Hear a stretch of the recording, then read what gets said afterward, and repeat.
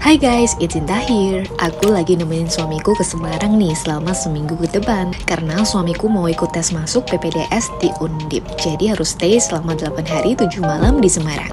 Dua hari kemarin kami sempat stay di apartemen Alton yang lokasinya deket banget sama Undip. Tapi hari ini kami memutuskan untuk pindah ke hotel aja. Buat kamu yang lagi cari rekomendasi hotel murah di Semarang, tonton sampai akhir ya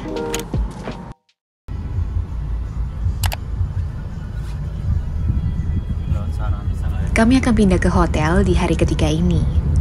Sebelumnya kami stay di apartemen Alton, tapi kami nggak nyaman menginap di sana. Apartemen tersebut lebih cocok untuk sewa tahunan sih menurutku. Hari ini kami akan pindah ke Hotel Krakatau yang ada di Jalan Krakatau nomor 8 Semarang. By the way, hari ini Semarang panas banget guys. Semoga aja AC di hotel nggak separah di apartemen kemarin. Nah, ini kami udah mau sampai guys. Ternyata hotelnya nggak berada di pinggir jalan besar, melainkan berada di dalam jalan kecil satu arah seperti ini. Tapi akses parkirnya tuh gampang dan praktis banget. Tinggal parkir di depan hotelnya langsung. Hotel Krakatau ini merupakan hotel bintang 2 yang dikelola oleh Azana. Ini kami lagi proses check-in dan depositnya itu sebesar Rp50.000 guys. Di dekat lobi ada toko yang menjual barang-barang estetik ala Korea. Ini tuh bukan hotel besar, tapi aku merasa lebih nyaman berada di sini. Ini aku lagi nungguin suami nurunin barang bawaan ke kamar. Meja velvet tersebut menarik perhatianku guys. Ternyata tersedia minibar, ada teh dan snack yang bisa kita nikmati. Gak ada minibar di dalam kamar, namun tersedia minibar untuk umum di lobi. Ada jual minuman dingin juga, kalau malas ke Indomart atau Alfamart, bisa langsung beli di sini. Jadi minibar ini hanya tersedia di jam check-in ya, siang sampai malam gitu.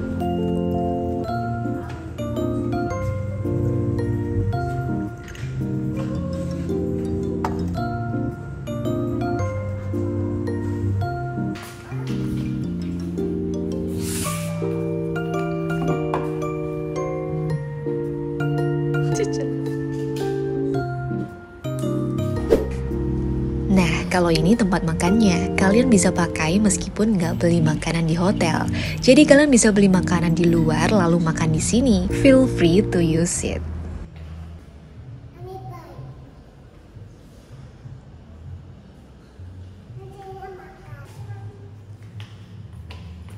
Akses untuk naik ke atas ada dua pilihan guys, naik lift bisa, naik tangga juga bisa. Nah tapi karena aku lagi bawa koper, jadi aku memutuskan untuk pakai lift aja. Untuk liftnya sendiri bukan lift yang besar ya guys, maklum karena ini memang hotel kecil. Kapasitasnya mungkin bisa muat 4 orang deh. Ini kami dapat kamar di lantai 2 guys. Panasnya sini ya. Iya. Aduh. Aduh, udah tugas kebersihan.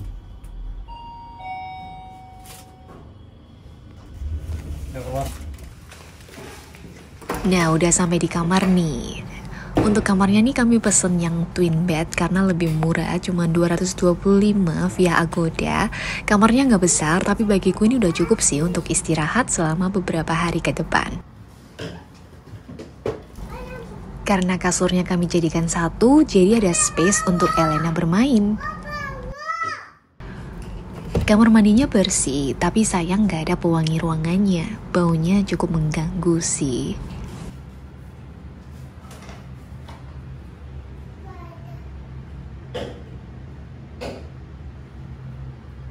Menurutku kamar mandinya simple and cozy guys. Ini untuk area wastafelnya, jadi di atas wastafel tuh ada cermin dan juga rak. Lalu untuk amenities toiletnya ada handuk, sabun, shower cap, dan sikat gigi. Untuk airnya bisa air panas dan dingin ya, sayang banget keran airnya nggak terawat guys. Karena ini cuma hotel bintang 2, jadi nggak ada minibar, cuma dapat air mineral 2 piece. Aku dan Elena sempat sakit pas hari keempat di Semarang, kami batuk dan demam.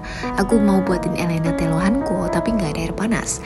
Dan ternyata waktu telepon resepsionis, mereka bisa bantu bawain air panas ke kamar. Akhirnya bisa bikin teh lohanku. Kami juga sempat minta tolong panasin soto yang kami beli dan mereka bisa membantu. Jadi meskipun cuma hotel bintang 2, tapi secara pelayanan kami puas banget. Ini aku kasih lihat ke kalian suasana hotel di malam hari.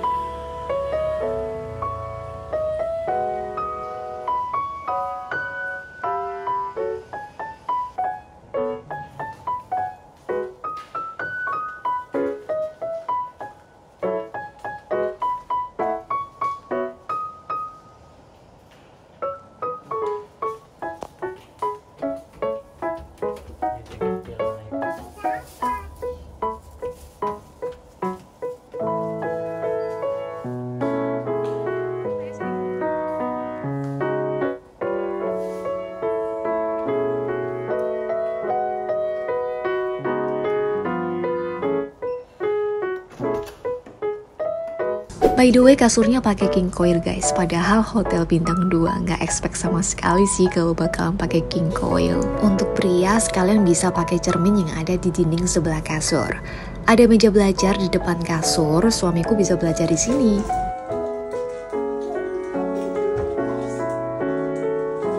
Ini tuh bukan hotel besar, ruangan kamarnya aja luasnya cuma 18 meter persegi. Tapi nggak tahu kenapa aku ngerasa lebih nyaman di sini daripada di apartemen kemarin. Mungkin karena di sini AC-nya lebih dingin, meskipun nggak sedingin AC di kamar sendiri sih. Gordennya nggak ada fitrasnya guys, jadi kami nggak bisa buka gorden demi privacy. Biar nggak panas juga sih, Semarang panas pol soalnya buka gordennya kayak gini ya guys jadi ada tali yang bisa ditarik gitu tadi aku sempet bingung buat buka gordennya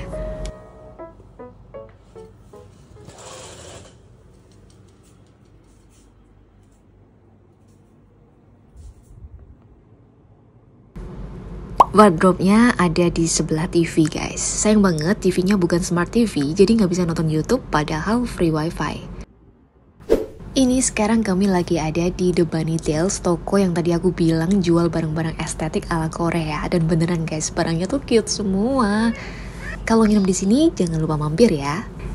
Ya udah guys, sekian dulu video kali ini. Semoga bermanfaat ya. Thank you for watching and see you in the next video. Bye bye.